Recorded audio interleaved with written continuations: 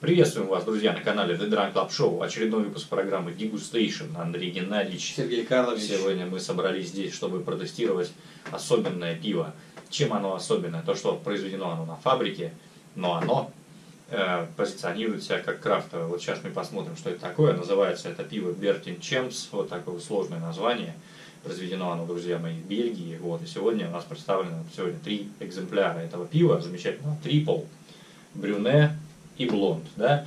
Вот. И рассмотрим и потихонечку тоже какими-то своими впечатлениями по поводу этого пива поделимся. Вот. Сегодня мы приготовили кофе. Как настоящие бельгийские эстеты будем Да, мы сегодня э, немножко перебивать запах. Не, не так, что просто как обычно, да. Сегодня будем с эстетическим подходом подходить к вопросу, потому что пиво это, во-первых, не дешевое, во-вторых, как нам обещали, что будет масса всяких разных у него оттенков, И сортов, э, оттенков и вкусовых. сортов, да, нач- начиная от лимона и лайма, и заканчивая копченой колбасой. Даже пыль обещали. Даже, Даже, пыль обещали, ребят.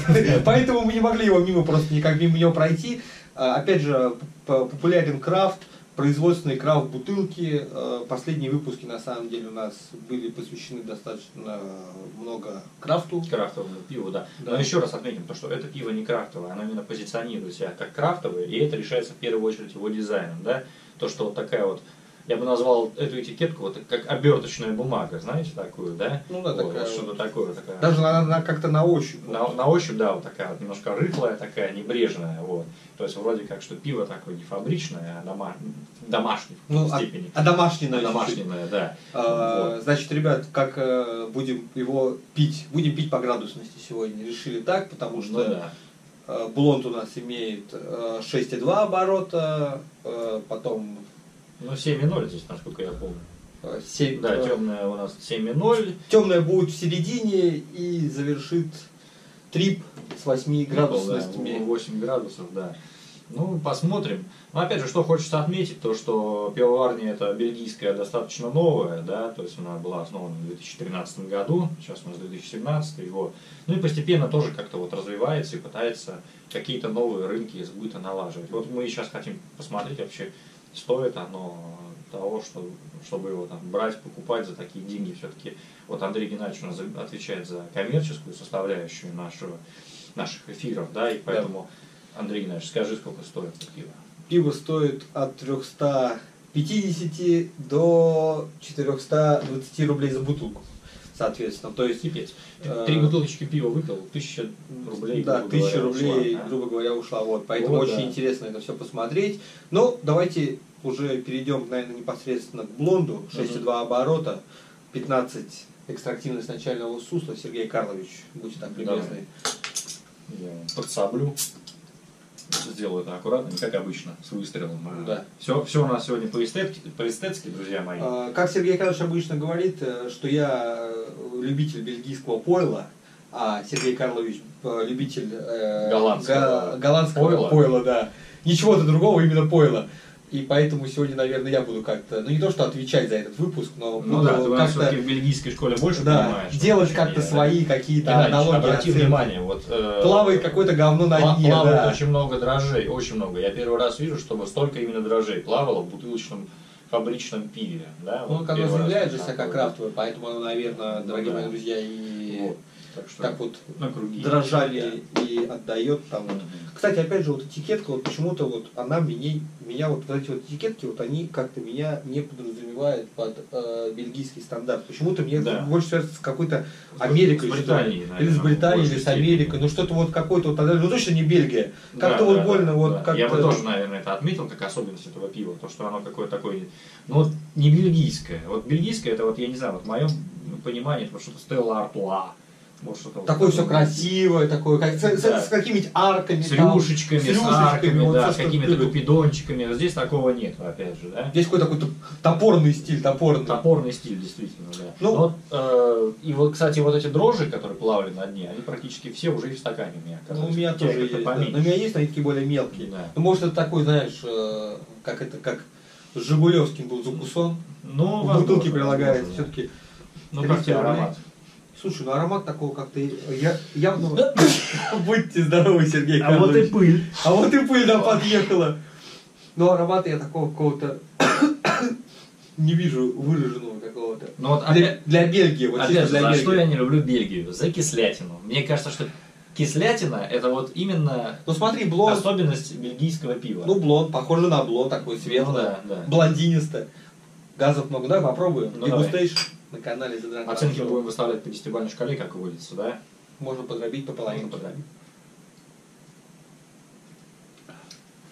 Да, действительно, настоящее бельгийское пиво. Не Бельгийское обманули. пиво, да. Сразу Вот чувствуете. Именно вот этот сорт как раз, блонд, да, он, наверное, очень свойственен Бельгии. И, ну, хотя я могу сказать, что пиво-то не- неплохое на вкус достаточно. Но мне напоминает э, кефир. Ки- такой кисленький немножко, вот такой. Да, плюс еще, отдает. плюс еще пенки, так вообще Пена, нормальная да, такая. да. Вот мне. И, кстати, на самом деле для блонда, хотя, в принципе, бельгийские пива, наверное, они вообще сами по себе достаточно крепки. Потому что для блонда 6,2 оборота, ну, плюс 15 экстрактивность начального сусла, ну, достаточно много, я достаточно считаю. много. Но пиво чувствуется, что оно такое достаточно благородное, да? То есть вот букет у него именно какой-то такой пивной. он Такое пиво, знаете, не хочется как-то быстро вот так вот выпил стакан и все. И давайте перейдем к следующему, да. Хочется вот так вот его, вот, мо- можно действительно взять бутылочку, посидеть, открыть, налить в стаканчик 0,5, притом не такой пивную кружку, а вот именно такой вот фужер. а, С ножкой. Да, с ножкой вот такой вот чисто Типа как... такого. То- э, такого только не коньячный, хотя можно и в коньячный, в принципе, нахерачить, будет примерно такой же эффект. Вот. Э, В принципе, мне нравится. Но пиво, да, достаточно вкусное. Вот, ну, опять же, мы в программе Degustation всегда пытаемся проводить какие-то аналогии, да, вот, я не знаю, что-то искать такое. Сравнение. что- Сравнения какие-то, да. Вот. И, наверное, чем бы я сравнил, это с Бланш де Неш. Есть такое пиво, тоже, тоже, опять же, бельгийское, да. Оно, наверное, чуть-чуть подешевле, чуть-чуть, наверное, более раскрученное.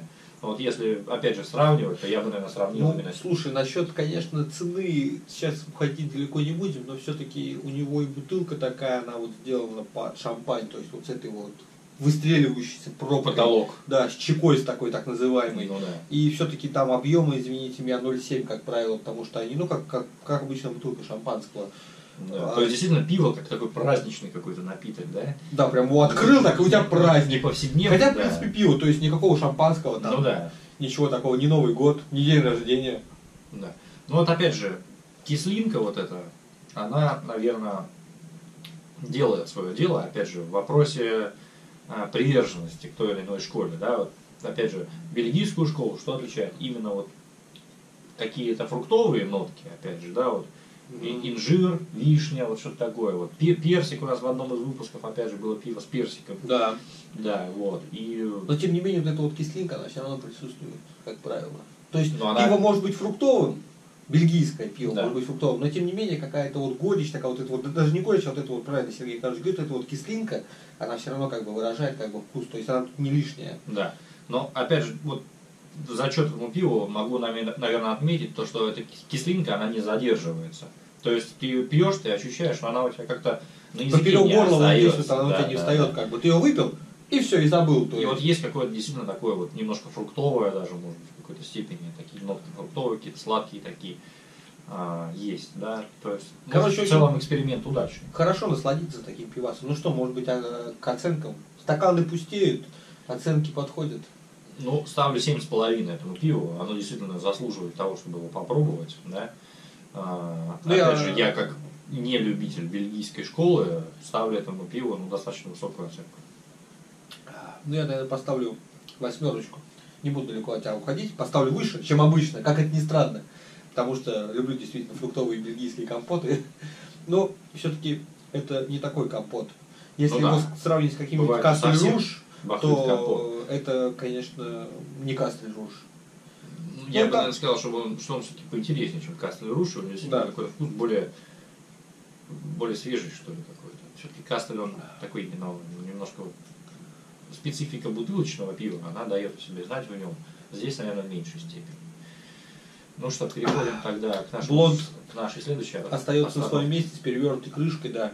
Э, Следующее пиво, бельгийское, как ни странно, той же серии, той же Ну марки, э, называется, но... Брюне. Брюне. Ну что значит брюне? Как брюнет, да? Как брюнетка, только темная. Ну, в принципе, брюнетка тоже темная. Да. Только это, по-моему, совсем темная. Ну цвет такой, А пена, смотри, опять, как- во-первых, пены много. Пены достаточно много, но пенная шапка, она такая вот держится. То есть ты вот налил, бывает, знаете, Хотя пиво постояло, оно как бы не тряслось нигде в основном. бывает э, нальешь пиво, и оно, она, вернее, пена, начинает расти вверх, вот так растет, растет, растет, растет, растет, и в конце концов выплескивается. Здесь такого нет. Пиво стоит, э, пена стоит абсолютно ровно. На своих местах, в общем. стоит, да, вот как бы. А, Сергей Карлович, как ценитель настоящих темных пив, Но опять же, я же специалист по да. Смотри, как по на порту. просвет. Вообще просвета вообще нету. Ну, просвет есть. Ну, он есть, но он такой. просто на, вот на, посмотри на свет, а не на черный квадрат Малевича, который висит у нас на Ну, стене. просвет есть, просвет рубиновый. Рубиновый, да, я бы, наверное, тоже отметил, что вот Пепси Кола примерно такая же на просвет. На запах интересный, кстати. Так, кофе. Как истинный эстет занюхивает все кофе. Ну, опять же, вот, Запах чувствуешь, что такой вот бельгийский, бельгийская такая Абсолютно. школа типичная. абсолютно бельгийский запах, абсолютно вот кислый такой. Слушай, даже какие-нибудь, может, я фруктовые нотки здесь могу отсеять. Вот какой-то, может, А я бы, наверное, отметил какую-то вот копченость. Копченый солод, он и здесь, ну надо пробовать. здесь есть, да. Надо пробовать. попробуем. А кофе я тебе тоже, кстати, советую. Хорошо ароматы перебивать, чтобы с предыдущим м, не перепуталось. Ну, мы же пиво не нюхать будем, мы пиво будем пить. Если Ну, только да. кофе вовнутрь закинуть. Да, очень такой вот характерный, копченый такой прям. Привкус у него, чувствуешь? Знаешь, как вот поехал какой-то а, немецкий бар, наверное, в Германию, в Мюнхен. Германия? Да. И там вот пиво себе заказал светлое, пока жду, мне, короче, колбасы принесли таких вот. Вот настоящие немецкие колбаски Мюнхенские. такие, да, вкусные С такие. горчицей. Да, с горчицей. Ты пока эти колбаски, короче, наворачиваешь, пока тебе пивас несут свежий, только налитый из бочки из какой-то. И вот вкус этого пива вот как-то ассоциируется вот с этими колбасками, мне кажется. Хотя горечь какая-то есть для э, характерная для какого-то, может, я не знаю, стаута, что ли, вот, вот такая какая-то Но опять же, горчинка. какая-то как- о- очень быстрая картинка, да? Она вот появляется и мгновенно исчезает. И остается кислинка. Вот на мой взгляд, опять же. То есть, в принципе, бельгийские пива, они рассчитаны на это, то есть они как бы своей горечью, ненавязчивой или какой-то кислостью, они вам дают вкус, но этот вкус у вас моментально также его назад оп и забирают себе, потому что как бы он у вас не осаждается нигде во рту или в горле или Ну еще да. где-то, и поэтому как бы вот вы Потому что если взять даже тот же ИПА сорт, к примеру, да, то есть там есть действительно такая тема, то, что после вкуса это держится очень-очень-очень долго. Здесь все-таки такого нет. А, глоточек сделали, пиво вот так прошло вниз, и все, и, И вы о нем забыли как бы. Практически забыли, да. Вот это, наверное, особенность этого пива. Но опять же, наверное, а, в очередной раз скажу то, что привкус дрожжей в этом пиве мне не совсем нравится, да, то есть э, у меня это ассоциируется с моим детством, когда я, когда мне было там 4 или 5 лет, моя бабушка э, тогда еще была жива и готовила пироги, ну вот, и покупала в ближайшем магазине сырые дрожжи вот такие вот для хлеба. чтоб тесто набухало. Да, да, да, да. Для хлеба, для хлебопекарные просто дрожжи вот, банальные, да. И вот, я не знаю, я их тогда несколько раз пытался пробовать, да, и у них действительно был вот такой вот вкус, кислый вот такой вот. Он мне сейчас вот очень сильно напоминает мое детство, когда я эти дрожжи, короче, пробовал. Вот. Теперь мы просто будем по- почти те же самые дрожжи, только в бутылке запечатанной, которая стоит 400, 400 рублей. рублей, да. Ну а касаемо вот именно того, что темное пиво, там то да все, вот. Наверное, все-таки стаут и портер э, отличаются разительно. Они Короче, в первую очередь своей, наверное, плотностью. В общем, э, Бельгия не умеет делать темные сорта пив, как правило. Скорее всего. Но они же любят там эль, вот, вот как раз эль, наверное, это самая распространенная вещь. Бланш и э, эль, По Бельгии. да. Ну, Стаут это все-таки такая, опять Ну, же, британская да, тема. британская тема, и то есть как бы вот э, никогда не спутайте бельгийский эль с каким-нибудь британским стаутом. То есть разница просто она колоссальная. Хоть То там есть и, и там используется такой вот жареный копченый солод, и здесь, но опять же, вот, убери кислинку, и может быть мы бы тогда Ну, поговорили. Сергей Карлович, согласись, вообще пиво для наслаждения. То есть не хочется никуда торопиться, хочется так вот откинуться в кресле тихонько, как бы, э, Да. налить себе бокальчик такого пива, можно стаканчик, можно кружечку темного пива. И вот так вот сидеть потихоньку, как бы, под какой-нибудь, э, не знаю, там, телевизионную программу, можно какой-нибудь фильм включить. А Можно просто Желательно посидеть. европейский какой-то. Да, типа можно просто Фран- на кухне посидеть, а можно вообще где-нибудь летом выйти на балкон Ну да. э, в Не, хорошую ну вот ты смотри, погоду. и Геннадьевич, ты попить хоть, такой хоть и не нюхаешь пиво, я тебе просто приведу сейчас пример. Вот нюхай кофе, нюхай кофе. а теперь пиво. Теперь нюхай пиво. Че за кислятина какая? Да, совсем кислое. Совсем кислое, ой, кислое, прям. Ну вот. Ну, как говорится, пиво не надо нюхать, пиво надо пить. Ну да. Вот. Ну, что, может, к оценочкам перейдем? Ну ставлю пять с половиной. Все-таки я, наверное, это пиво не очень оценил. Ну, давай я поставлю, наверное, шестерку, потому что как-то Бельгия, темное пиво, у меня это вообще плохо ассоциируется. Бельгия с темным пивом вместе, они как бы, знаете, как э, нейтроны и протоны друг от друга отталкиваются, вот так же и примерно у меня, то есть темное пиво с Бельгией, оно как бы по разные стороны. Я обычно, если Бельгия, значит с вишней, ну, либо с каким-нибудь э, ф- фруктовым коктейлем в С придачу. персиком. Вот. И поэтому, ну, поставлю... Сколько ты поставил? Я Пять. поставил пять с половиной. Пять с половиной. Я шестерочку поставил. Шестерку. Ну, Шестерку, да. Ну и переходим к следующему, друзья. Бертин Чемс Трипл, да. Такое тоже интересное, но опять же оно светлое, белое, да. Вот. И э, трипл, ну я, по всей видимости, это имеется в виду, что три хмеля здесь каких-то используются, вот. Поэтому трипл. Да, ну мне так кажется. Еще вот, это, вот, вот, вот- вот мне интересно, что это за цифра 1343. М, Честно говоря, я не знаю, но это может быть какой-то старинный рецепт, да, приготовления пива, который 300 зарегистрирован 1043 года, что ли, который? Но это уж совсем давно, если честно. Ну, извини меня, небезызвестный э, Вайн Штефан у нас был тысяча, потом ноль, потом еще чего-то. То есть это 11 век, грубо говоря. Здесь хоть 14 как-никак. Ну, вот такие вот бутылочки, в общем, Да. пива. Увидите, в принципе, как бы на полках магазина можете посмотреть. Да. Но, к сожалению, таких бутылок на полках магазина я не видел. Но Хотя в интернете пестрят, что такие бутылки э, доступны Сплошь и рядом. Сплошь и Ну, рядом, да, приходи покупать. Ну, давайте не будем никого томить, держать, будем пить. класс. А, Трипл. Да. Ну, нефиль. Какой-то нефиль, наверное. Ну и пенная шапка, опять же, такая очень ровная, да? Хотя, Очень ровная, очень плотная, такая, как вот снег зимой практически. хотя нет, не особо-то он и нефиль. Как-то, я, То есть наверное, он филь. как-то наверное, ошибся. Вот так вот. Да, Видишь, хорошо. По фирменному, Хорошо. по фирменному. Скажешь. Как запах? Сейчас, подожди. Но он, наверное, менее кислый. Более такие какие-то вот э, сладковатые уже, наверное. Ну, чуть лучше, чем блонд, наверное. Чуть лучше, чем блонд, да. Да, пожалуй. Хотя в нем, ребята, 8 оборотов обещают. И 17 там с копейками экстрактивных начального сусла. да. Они вот так нынче э, мелко пишут, э, извините меня, импортеров, вот вы посмотрите просто. Ну это просто порнография. Вот тут вообще ничего не Тут даже более если близко я вам поднесу, так вообще вообще ничего не увидите. Надо э, реально с лупой сидеть, блядь, рассматривать. одевать, да. Еще все это выцветший э, текст, потому что это пиво никто не берет, кроме нас. Как бы, как- ну как правило. Вот, Ну давай попробуем, посмотрим, может быть оно действительно будет лучше, чем блонд, или хуже, чем блонд. пробуем. И дегустируем.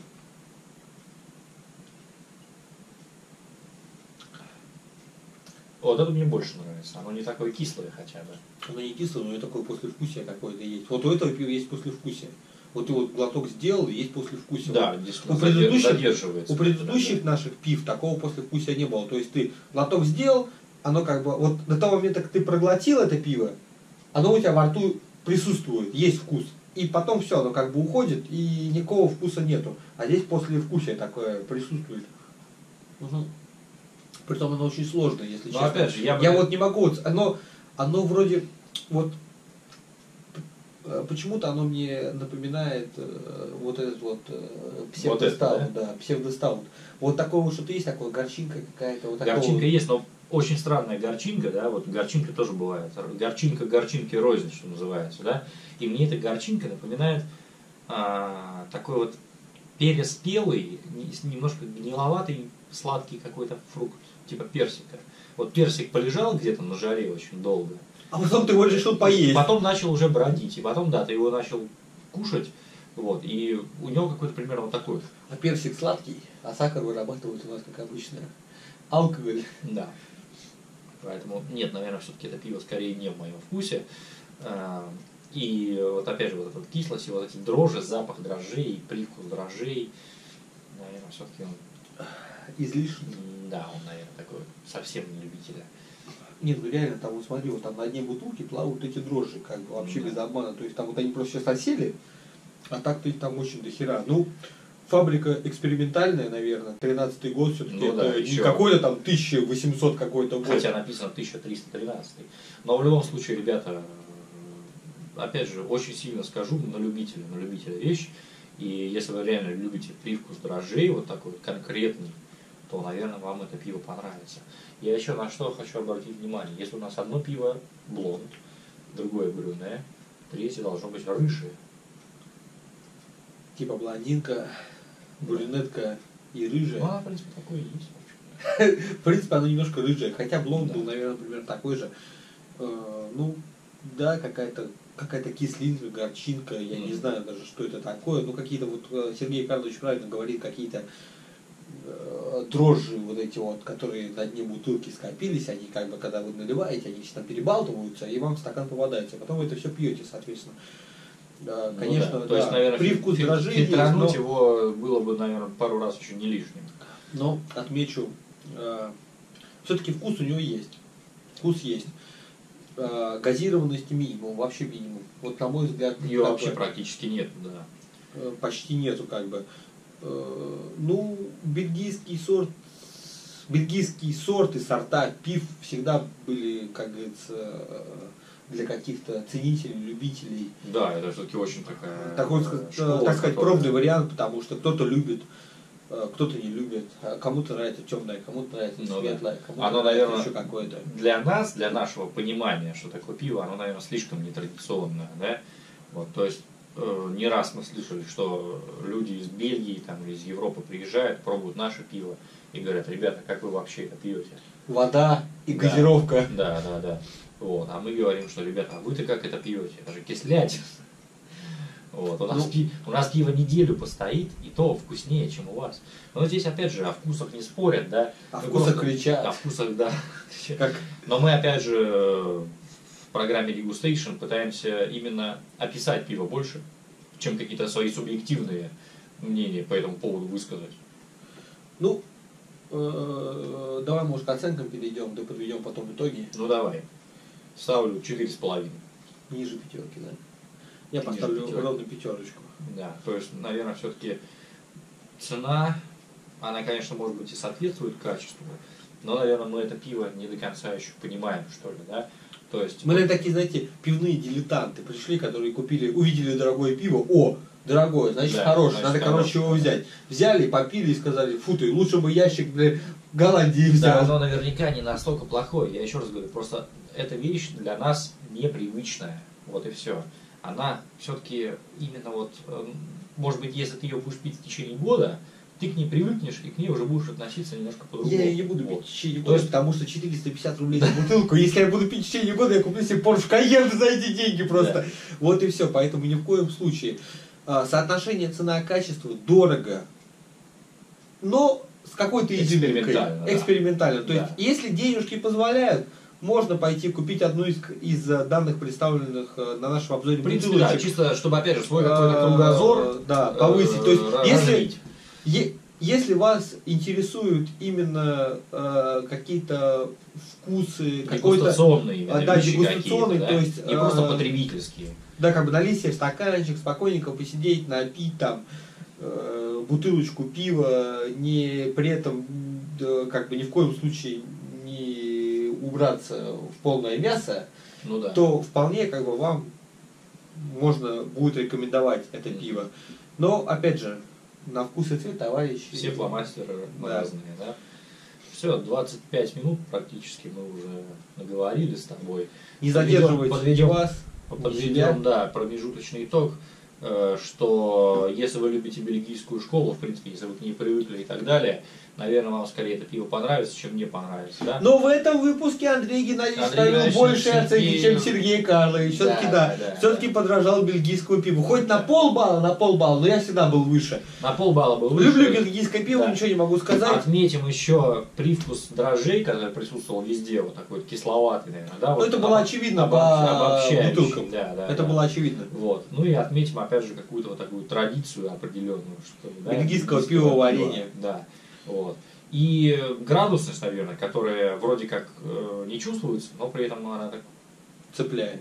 в общем-то, уже, да, Потихоньку, медленно, за- но за- уверенно, заявила о себе. медленно, но так. уверенно начинает как бы вас донимать, донимать.